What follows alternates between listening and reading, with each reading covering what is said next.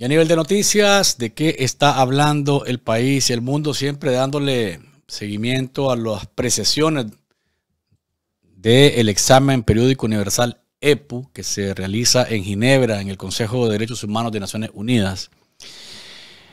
Hoy, eh, al menos 16 personas defensoras de derechos humanos que representan a 25 organizaciones perseguidas y que trabajan desde el exilio en la coalición Nicaragua Lucha, eh, dieron a conocer sus preocupaciones sobre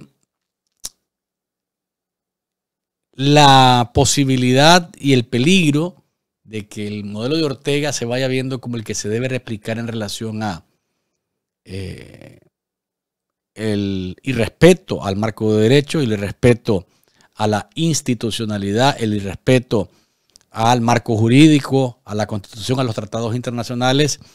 Y entonces eh, se montó un foro paralelo, ¿verdad?, a, las precisiones del EPU y con la inédita presencia de 16 personas, como les digo, se realizaron eh, exposiciones que indican cómo es el asunto de evitar que eh, la dictadura de Ortega y Murillo se convierta en el modelo a seguir en Centroamérica. Dice eh, parte de la declaración de Whitney Bernard, que fue la directora de, que es la eh, directora de proyectos de la Red Internacional de Derechos Humanos, que fue la moderadora de este evento. En comparación con el ciclo anterior, las violaciones han adoptado formas más sistemáticas y transnacionales, con la persecución de personas defensoras incluso fuera de las fronteras de Nicaragua.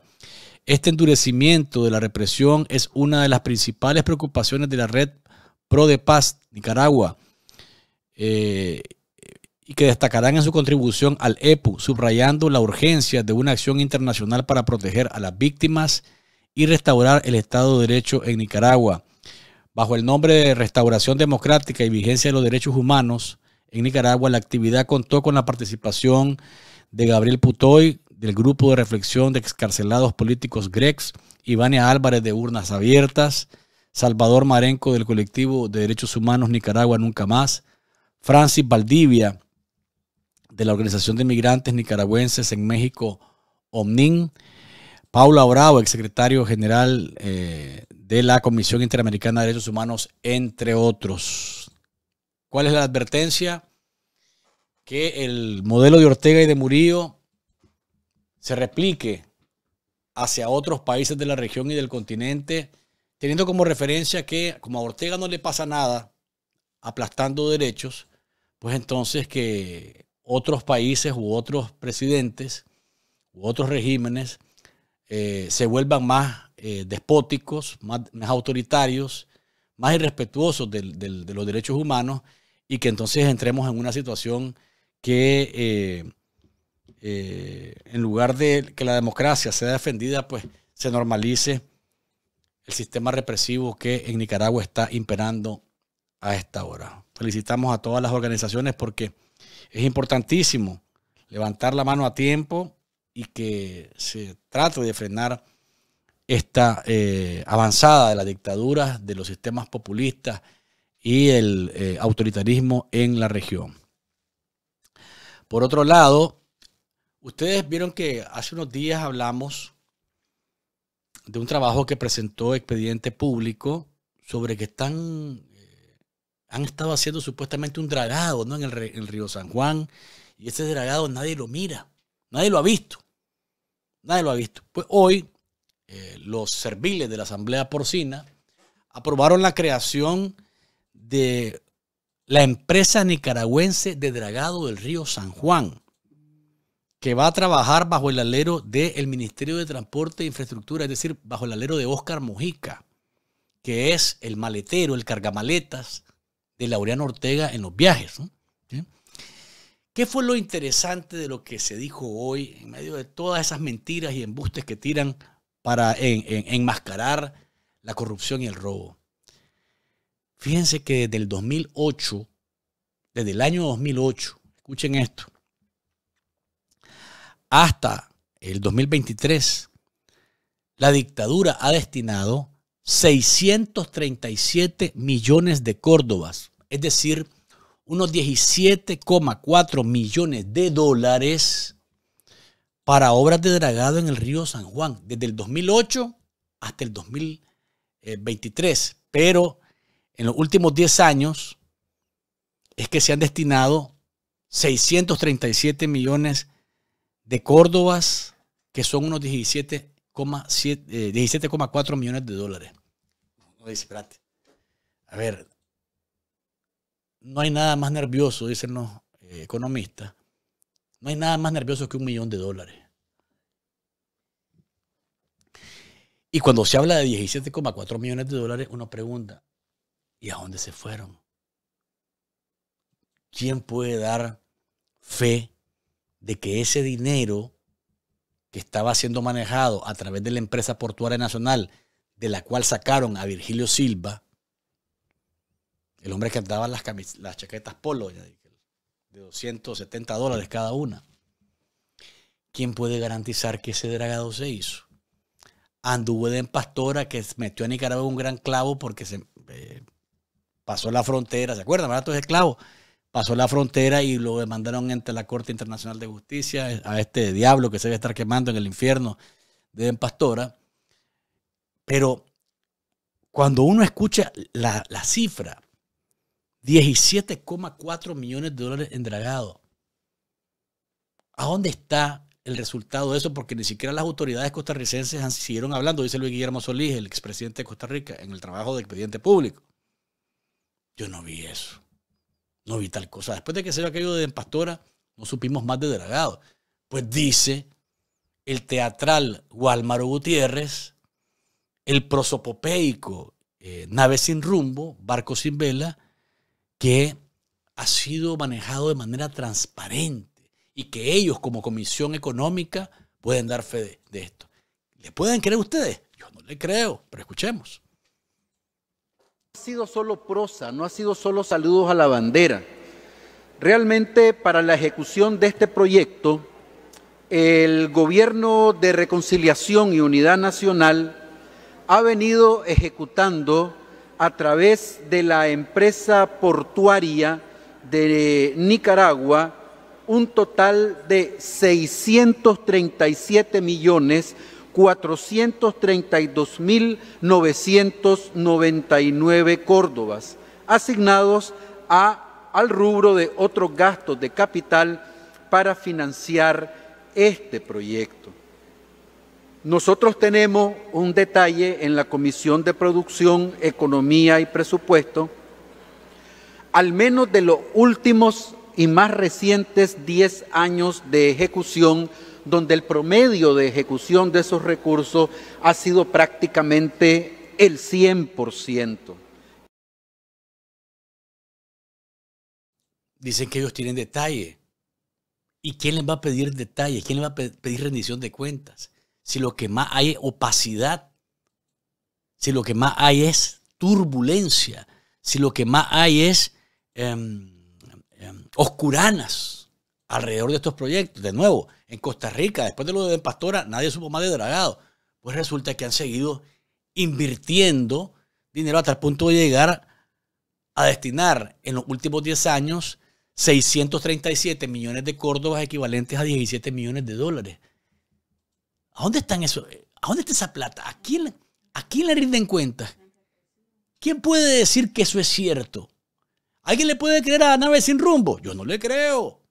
Ah, pero remata. Este año han destinado un poquito más, 1,7 millones de dólares, equivalente a, en Córdoba, 64,7 millones. Veamos y escuchemos. Y ahora, en el año 2024, que no va a ser la diferencia, nosotros ya habíamos aprobado en el plenario de esta Asamblea Nacional recursos para el dragado del río San Juan por el orden de los 64.7 millones de Córdoba, con una alta ejecución a la fecha. Ahora, el gobierno de reconciliación... O sea, más plata. Hagamos entonces la conexión. El dragado lo llevaba Eden Pastora hasta que se metió en el clavo con Costa Rica y que nos significó una demanda internacional. ¿eh? Después de eso no se supo más. No se supo más de dragado. Pero dice que han seguido destinando plata. ¿Quién estaba trabajando en la empresa portuaria nacional? Virgilio Silva, al que han destituido. ¿Verdad? ¿A quién le podría rendir cuenta Virgilio Silva del dinero utilizado en el dragado? Lógicamente que a los Ortega Murillo y particularmente a Laureano o a Payo, que son los que manejan todos los negocios eh, de la dictadura y de la familia dictatorial en el poder. Pero ahora, con la creación de la empresa, perdón, nicaragüense de dragado del río San Juan pasa a manos de Oscar Mojica, el Ministerio de Transporte. Mojica es el, malet, el carga maletas, el carga maletín de Laureano Ortega. Ahí lo anda de un lado para otro. Ahí lo anda de un lado para otro. Quiere decir que la plata del dragado va a ir a parar eh, sin duda alguna porque no hay nadie que le pida rendición de cuenta o le, pida que rinda cuenta, va a ir a parar a la bolsita de Laureano porque Oscar Mojica le sirve a Laureano en, eh, en sus negocios turbios, igual que le sirve Salvador Mansell en el tema de las minas. Así es, doña Dicle. A través de esos ministros es que hacen los negocios revestidos de institucionalidad, de contratos eh, supuestamente con licitaciones y ta, ta, ta. Todo esto es pura, pura corrupción. Pura, pura corrupción. Sí, señor. Ay, ay, ay. ¿A dónde, va a parar todo ese dinero? La bolsa de Laureano Ortega y de. El de tragado. Si, si, si aquí no hay nadie que. Más que Walmaro dice que ellos tienen un detalle pormenorizado. ¿Va a cuestionar Walmaro que Laureano robe dinero del Estado? No va a cuestionarlo, jamás. ¿Va a cuestionar Walmart que Payo Ortega está robándose dinero del, Estado? Tampoco lo va a cuestionar. ¿Va a cuestionar que Juan Coca se robe dinero del Estado? No lo va a cuestionar porque el día que cuestione Walmart, que es así todo prosopopeico y teatral, nave sin rumbo, lo mandan rapidito para su casa acusado de cualquier cosa de que se le ocurra a la dictadura encabezada por el, eh, Vetusto Ortega y la patibularia Punto. No hay tales ni cuales que puedan pedir que se rinda cuenta. No hay contraloría, no hay nada de eso. Todo eso, todo eso son eh, dibujitos de preescolar ahora en Nicaragua. Nada, absolutamente nada. Así está la cosa. Doña Deikel, cuéntame cuántos me gusta llevamos a esta hora para que los amigos sepan por dónde anda el asunto de los me gustas. Dice Doña Deikel que a esta hora tenemos 336. Vamos bien, vamos para arriba, vamos para arriba con los me gusta. Sus me gusta son muy, pero muy importantes. Ayer, eh, la esperpéntica, esquelética, eh, malvada, maléfica, criminal, alma oscura, Rosario Murillo, sacó nuevamente lo barrio bajera, lo barrio bajera, que es, y em, le dijo a la Unión Europea lo que se le ocurrió a través de un comunicado que em, le hizo llegar supuestamente firmado por Pitipuá. ¿Qué es lo que dice el comunicado? El comunicado ahí le dice a los europeos que no son, primero que no son colonia de, no son colonia de nadie, excepto China, excepto Rusia, excepto Cuba, excepto Irán y excepto Corea del Norte. No somos colonia de nadie para acatar órdenes de ningún país del mundo, excepto los que les acabo de mencionar. No lo van a poner ahí, pero es evidente, todos lo sabemos. Dicen que le recordamos a los señores de la Unión Europea que la historia sobre lo que están basados sus países es de atrocidades y de crímenes de lesa humanidad cometidos en el afán voraz de someter a los pueblos para arrebatar riquezas, patrimonios naturales y demás. Aquí les comienza a decir ya, eh, les dice más abajo, que basta de injerencia, de falsedades, de falsificaciones y abusos en nombre de una supuesta teatralizada democracia que bañó de sangre, miseria y sudor y lágrimas los territorios donde se asentaron para matar, exterminar y atracar. Cumplan, dice Murillo, Ustedes, señores europeos, con el respeto de los modelos y formas de vida de los pueblos valientes, que rechazamos contundentemente la hipocresía en sus voces injerencistas y les sentenciamos todos los días por su repudiable historia de ignominias. A nosotros nos preocupa, nos preocupa que las legítimas demandas de nuestros pueblos no han sido escuchadas, mucho menos cumplidas por esos farsantes países que osadas, desvergonzadas, y arrogantemente se creen amos cuando solamente representan la peor y más sacrílega especie humana. ¿Qué le parece, doña Dick? ¿Por qué está envenenada la Chintana Murillo? Porque los europeos emitieron un comunicado que no se ha hecho, no se ha dado mucho a conocer, pero dijeron que, que ya basta de estarle, eh, pues, cerrando el espacio cívico a las organizaciones no gubernamentales después de que cerraron 1500, ¿verdad? Eh, pidieron la liberación de los secuestrados políticos y también eh, que, si, que se abra la dictadura a un diálogo real e inclusivo. Entonces se soltó la barrio bajera Murillo a mostrar por cuántos dientes le faltan en la, en la chintana. ¿Ah? Así se fue ayer eh, la consorte de Ortega para exhibir nuevamente su vulgaridad, su vulgaridad ante la Unión Europea. No por eso, todo lo que está en su hocico lo escribe. Su hocico describe todo lo que pueda poner en un papel.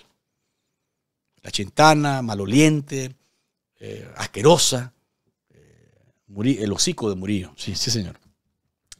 Recuerde que la familia Multiservices, la familia Multiservices le invita a usted a que reciba la asesoría financiera que necesita. Si quiere abrir su empresa acá en Estados Unidos, en 24 horas la tiene lista con todas las de la ley. Si quiere enviar carga, carga puerta a puerta hasta Nicaragua, también en la familia Multiservices de Okeechobee y en la familia Multiservices de North Miami. Ahí encuentra los servicios de primera, primera categoría de esta franquicia, de las más respetadas y de las más creíbles en Estados Unidos, la familia Multiservices. ¿Por qué confiar en ellos? Porque en la familia Multiservices todo, todo es posible.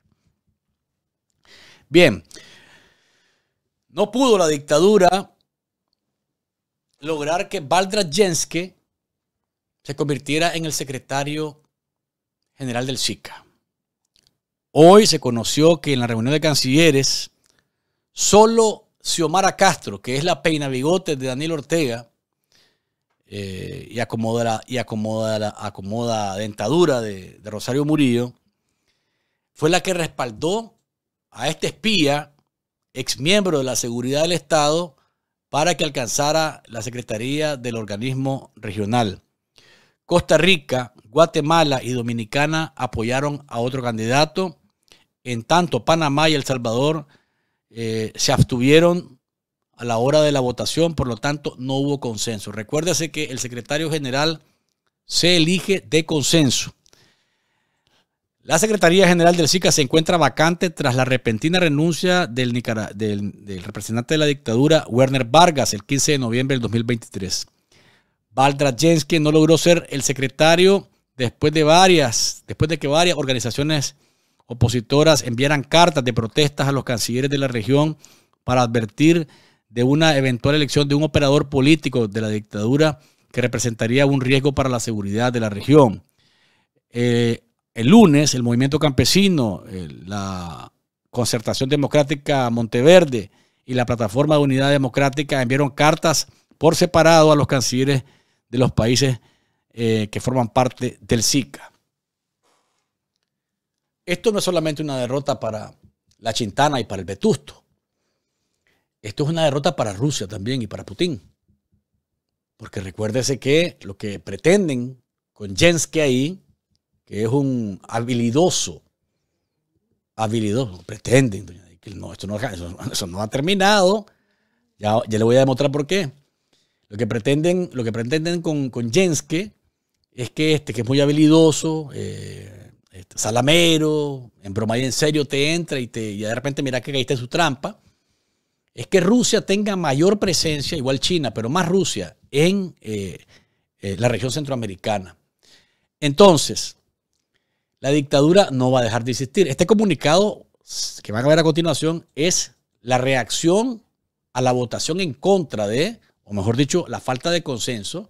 Y aquí la dictadura se victimiza y utiliza el lenguaje almibarado para decir eh, que los pueblos de la región no van a progresar porque por este impasse hay que superar esto, dejar de, ser, de pensar en cuestiones que no sea eh, el desarrollo de nuestras naciones. Veamos eh, lo que escribió Murillo.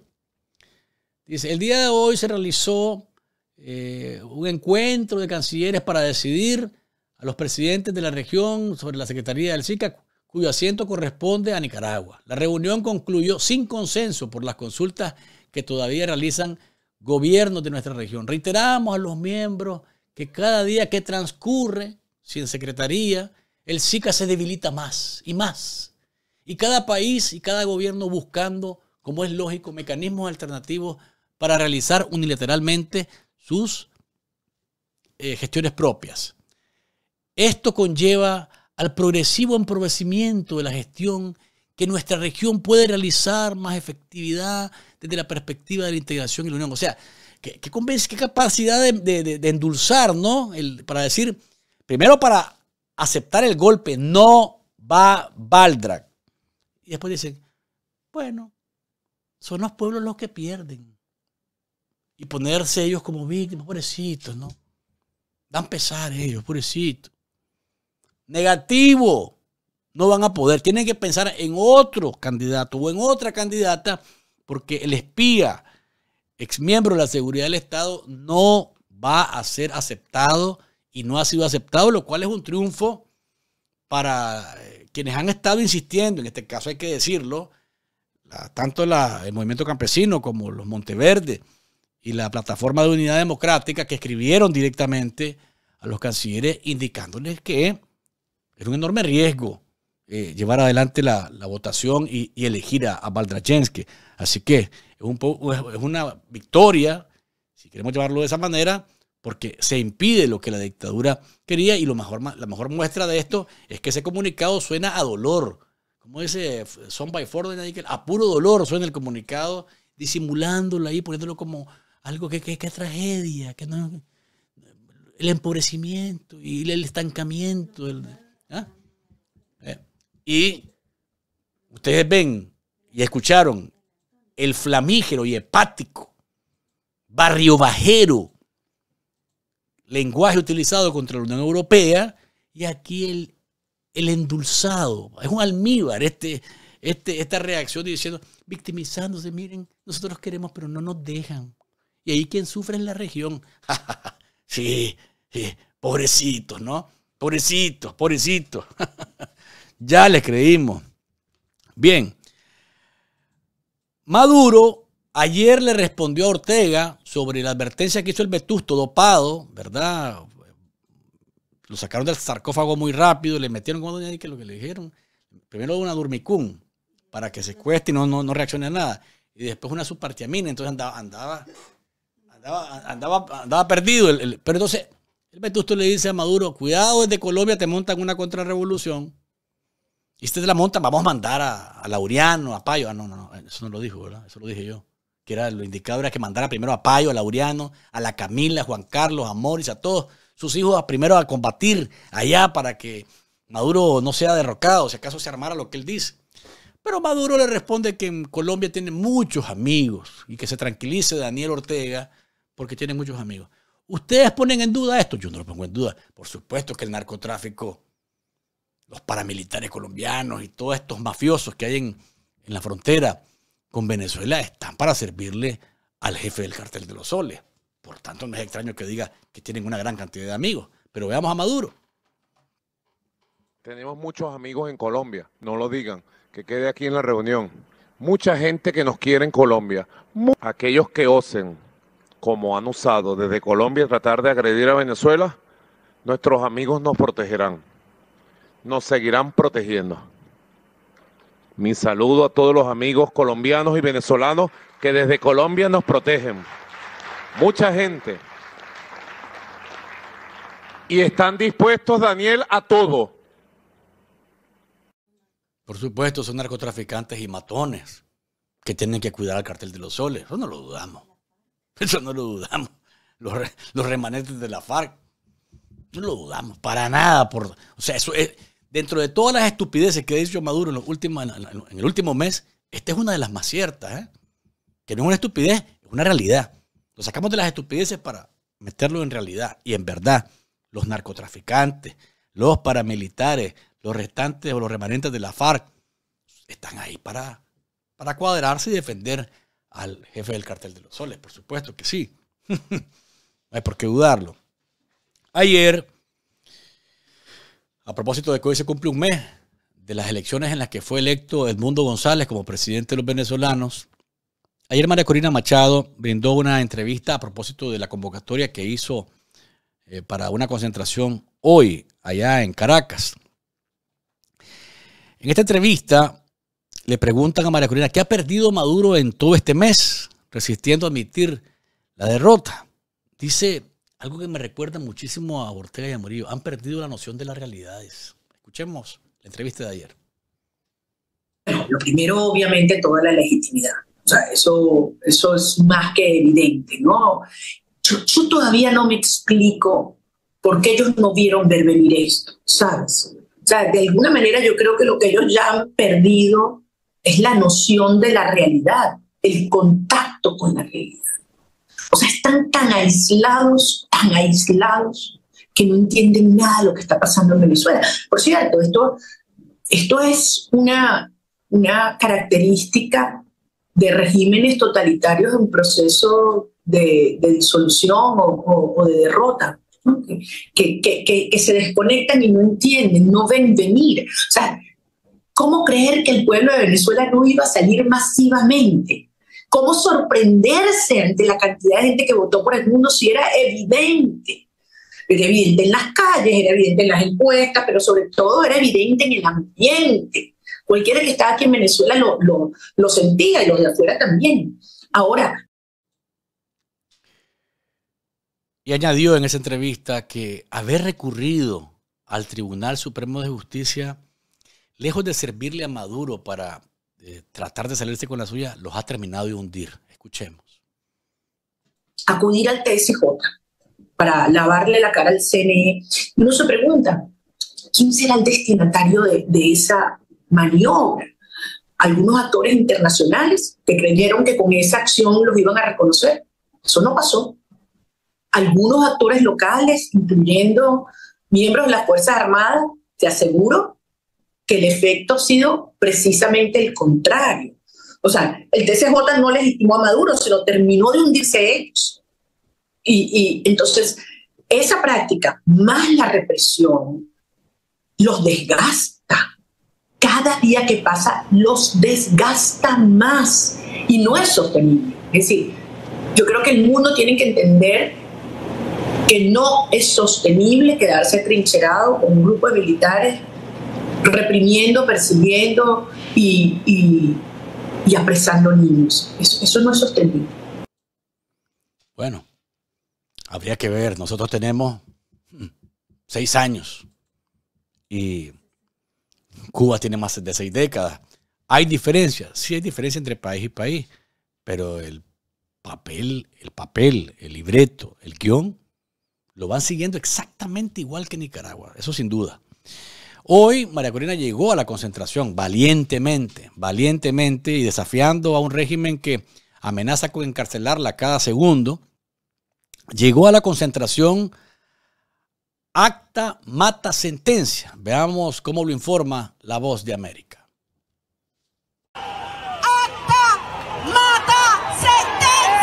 En medio de una nueva ola de arrestos de opositores, la dirigente María Corina Machado reapareció públicamente en una concentración para reclamar lo que asegura es la victoria de Edmundo González Urrutia en las presidenciales de hace un mes.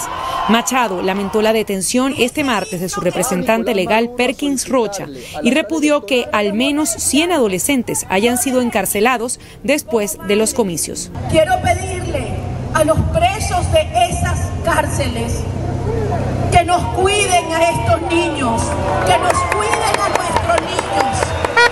González Urrutia no se ha presentado ante las masas desde el 30 de julio.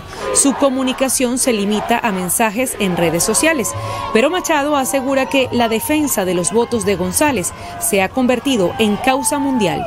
Ni un solo gobierno democrático del mundo ha reconocido el fraude Minutos después de la movilización, también fue detenido el dirigente opositor Biagio Pilieri junto a su hijo.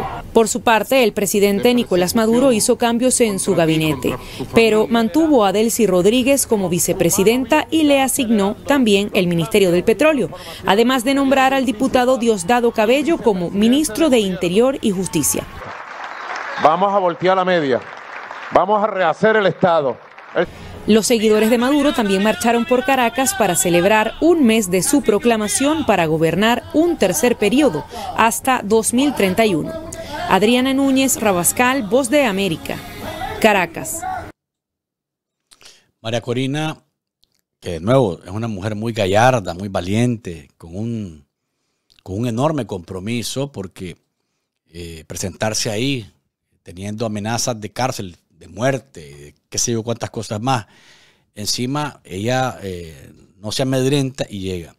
A mí lo que, doña Dickel y amigos que me están viendo, escuchando, a mí lo que me sorprende es el nivel de copia que está ocurriendo en Venezuela con lo de Nicaragua. Claro, hoy en la concentración no hubo la cantidad de gente, hay que decirlo claramente, de las últimas dos eh, convocatorias. Pero ¿qué es lo que pasa? O sea, el nivel de represión es tal que la gente ya la piensa para salir. Y aún así, muchísima gente llegó. Muchísima gente llegó. ¿Y qué dicen los lacayos, los eh, mentecatos y mequetrefes que apoyan a la dictadura de Maduro? ¿Ves? Ya nadie les cree. Ya nadie les cree, ya se van quedando sin gente porque saben que es un, engaño, que no no hay tal de que hubo fraude. Comienzan con la narrativa igualito que la dictadura, que a punta de plomo, a punta de violencia, de sangre y fuego, disipó las manifestaciones en Nicaragua y después que decían, ya nadie les cree a los puchos, dice, ya no va nadie, ¿y cómo van a ir? ¿Cómo van a ir? Si está un rifle, si está una cachiporra, están matones dispuestos a hacer cualquier cosa para reprimir a la gente y quitarle su derecho legítimo a manifestarse. Y aún así la gente fue. Pero el guion, doña Dickel, es exactamente el mismo. Exactamente el mismo. Y pues tiene que ver con esa comunicación constante y fluida que hay entre Maduro y, y Murillo. Él lo dijo claramente en meses anteriores. María Corina dice que se equivocan, sí, los que creen que los días que pasan son a favor de la dictadura. Veamos por qué. Por eso hoy tenemos que tener clara, claro para dónde vamos. ¿Para dónde vamos? Se equivocan los que creen que el tiempo favorece al régimen. Es todo lo contrario. Cada día que pasa, ellos están más aislados, se han vuelto tóxicos. Y es cierto, pero la comunidad internacional sigue pensando en qué hacer frente a un tirano que más bien se atrinchera, eh, decide profundizar la represión nombrando a ampones al frente del Ministerio del Interior como Diosdado Cabello, eh, ratifica a Vladimir Padrino, comienza a cerrar su círculo, nombra a Delcy Rodríguez el principal recurso o el rubro eh, que tiene Venezuela, que es el petróleo, y la comunidad internacional sigue pensando en qué hacer. Así que, ojo con lo, ojo con lo, con lo, que ocurre, ¿no?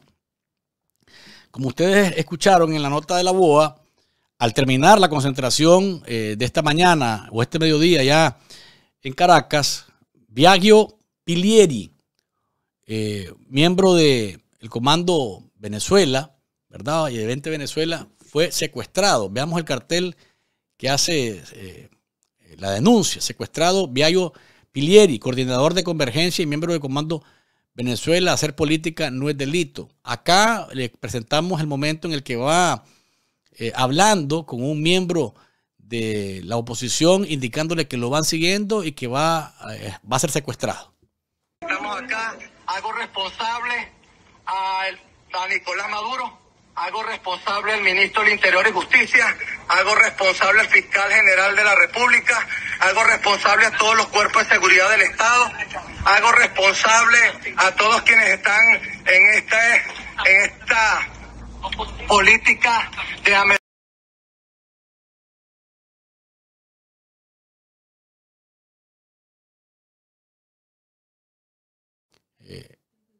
El que está de rojo a la derecha de su pantalla, ese es Glieri, quien fue secuestrado inmediatamente después de que terminó la concentración.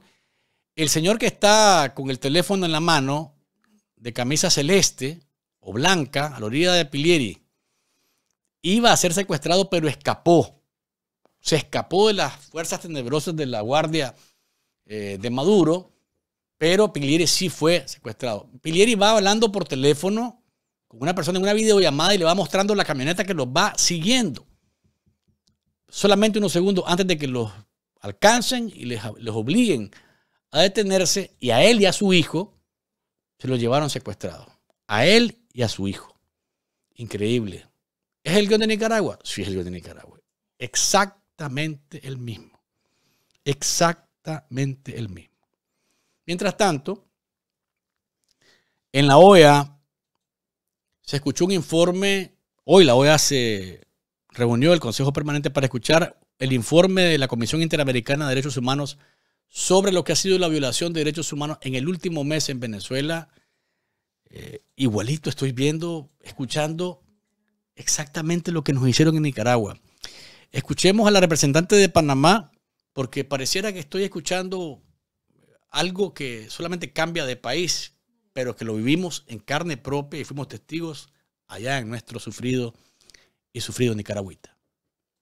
La falta de libertad de expresión, las detenciones arbitrarias, la tortura y la persecución de líderes opositores han marcado una realidad alarmante que no puede ser ignorada. Actualmente en Venezuela hay 216 mujeres que han sido detenidas arbitrariamente por el régimen desde el 28 de julio así como 107 menores de edad que también, detenidos arbitrariamente, no han podido ver a sus padres. A miles de venezolanos se le ha violado su derecho a la identidad al anularles su pasaporte. Han secuestrado personas, perseguido testigos e imposibilitado el nombramiento de abogados privados. Señor presidente, la crisis en Venezuela no es un problema aislado, es un desafío para la comunidad internacional en su conjunto. Todos compartimos la responsabilidad de abogar por un orden global basado en el respeto y la protección de los derechos humanos. La solidaridad y la acción colectiva son nuestras mejores herramientas para enfrentar estas injusticias y promover un futuro en el que todos los venezolanos puedan vivir con libertad y dignidad. El representante del Perú dice que es imposible reconocer lo que ha hecho el TSJ no hay ni una sola prueba de que Maduro haya ganado las elecciones. El Perú y un grupo significativo de Estados miembros de esta organización hemos rechazado la decisión del Tribunal Supremo de Justicia venezolano de convalidar los resultados que fueran anunciados por el Consejo Nacional Electoral, sin brindar evidencia alguna que lo sustente. Ello solo muestra cuán amplia y profunda es la crisis institucional venezolana todo allí ha sido falseado.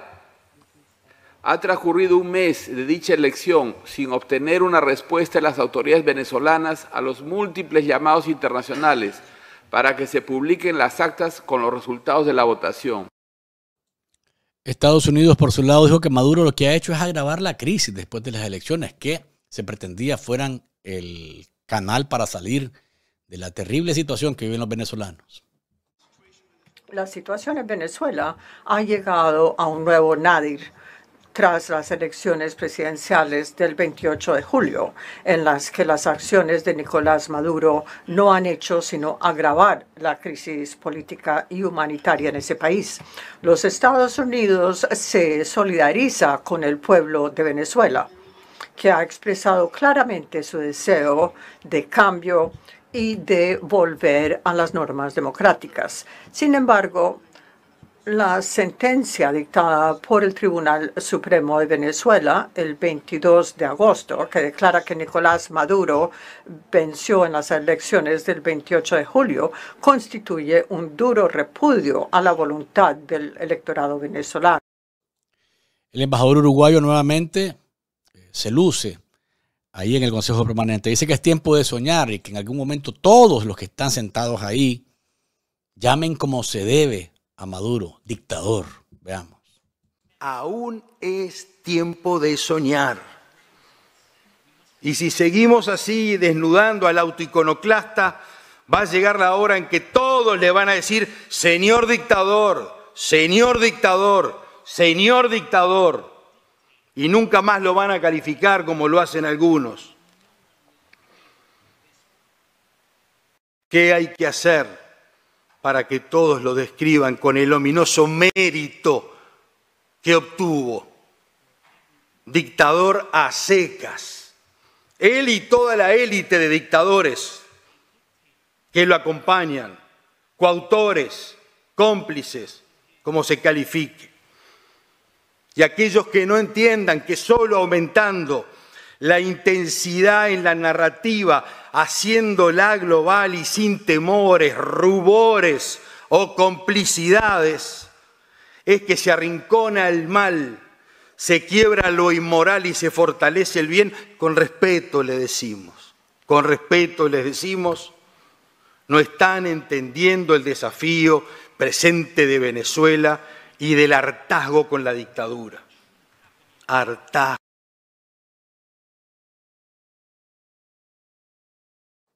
Insiste el embajador uruguayo en que hay 30 millones de venezolanos que piden que le oigan. ¿Alguien puede escucharlos para eh, darle respuesta a su demanda? Acá está, a continuación, la oratoria, que es siempre extraordinaria, de Washington Abdallah. Cada muerto en Venezuela es el universo. Cada torturado es una vergüenza vergüenza para Venezuela, vergüenza para nosotros y vergüenza para el mundo. Hay 30 millones de venezolanos que suplican por paz, respeto y democracia. ¿Alguien los puede oír o están sentenciados a vivir en el infierno? Pregunto.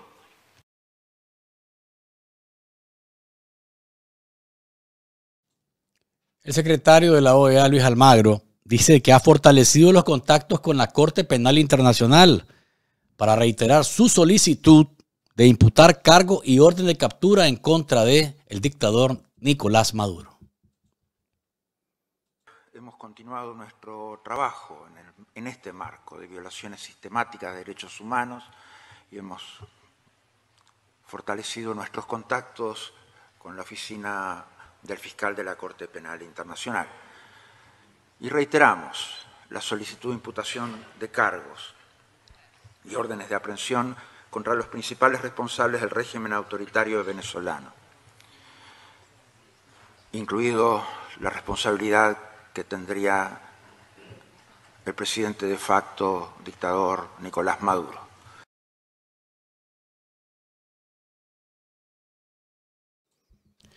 En paralelo, en otro evento, Jenny Lincoln, directora del Centro Carter, dice, aquí no hay manera de creer lo que dice Maduro, porque no hay pruebas de lo que él afirma que es su triunfo. Veamos. la falta de transparencia del CNE, de explicar, de publicar, de entregar los datos de los 30.026 mesas, no indica, indica con certitud, con veracidad, con verdad, lo que pasó en esa noche, en, en el día de votar. Por el sistema, y eso es otra sesión pero de técnica, pero hay un, un código de QR en cada acta. Con este código, cualquier persona con una compilación de datos de esos QR puede calcular los datos de las mesas. Eso es lo que pasó. Eso es lo que pasó. Y el ejercicio de, de la oposición logró, logró, y nosotros, yo les puedo decir, que nosotros hicimos la misma, el mismo ejercicio en estos datos, en, contando con más de 23 ah, mil mesas. En resumen, Lincoln dice, nosotros coincidimos con los datos que ha dado la oposición. Edmundo González es el presidente electo venezolanos. En Chile se está dando una reunión de la Confederación de Ministerios de Defensa del continente. Ahí estuvo la jefa del Comando Sur de los Estados Unidos, Laura Richardson, y se refirió a Venezuela de esta forma. La democracia y sus valores fundamentales siguen bajo ataque a nivel mundial. Y no tenemos que ver más allá de Venezuela, donde Nicolás Maduro continúa socavando la voluntad democrática del pueblo venezolano, forzando a la fecha a 7 millones y medio de personas que huyan, aumentando la migración irregular en Sudamérica y Centroamérica.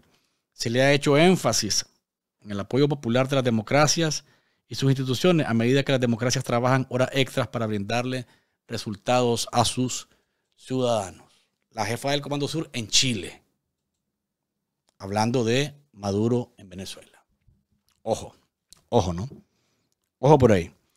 Bien, vamos a la pausa comercial y volvemos con Darío Richard, uno de los eh, miembros del equipo de abogados que acusó a Daniel Ortega, Rosario Murillo y a sus compinches de crímenes de lesa humanidad y que ahora, meses después de esa acusación, ha pedido a la justicia de su país que se investigue, que se enjuicie y que se pida o se emita una orden de captura internacional en contra del tirano, su consorte y sus eh, eh, paneaguados.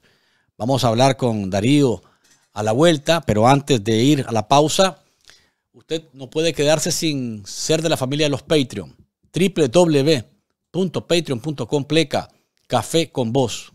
Súmese a nosotros y a los que ya son Patreon para que juntos rompamos el muro de la censura que los dictadores Ortega y Murillo han querido imponer en nuestra querida y sufrida Nicaragua. Juntos somos más fuertes, juntos enfrentamos mejor las intenciones del régimen y por eso siempre le invitamos a que se sume a la familia de los Patreon. ¿Cuántos me gusta llevamos, doña Deikel, para ir a la pausa venir con Darío? Dice doña Deikel que a esta hora tenemos 575. Espero que cuando terminemos la entrevista con Darío tengamos 700 y más, 700 y más, para eh, que usted nos ubique siempre dentro de los más vistos y más gustados en redes sociales y plataformas digitales. Pausa y ya regresamos.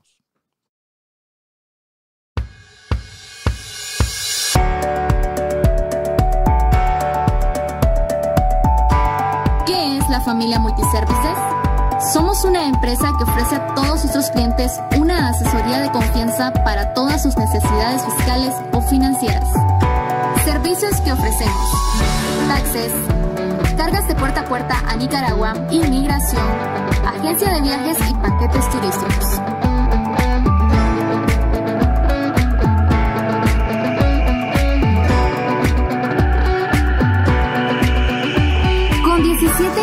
Experiencia sirviendo a toda nuestra comunidad latinoamericana desde cualquier parte de los Estados Unidos en nuestras oficinas de Miami, Florida.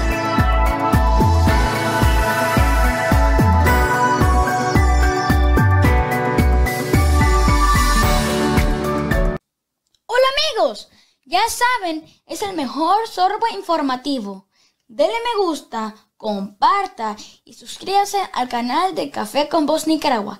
Y recuerden que no hay mañana sin café. Las mañanas son mejores cuando estoy pensando en vos. Cada día es diferente si puedo escuchar tu voz, pero no puede faltar ese ingrediente, porque es rico probarlo junto a vos, un buen café. Es café con vos, es café con vos.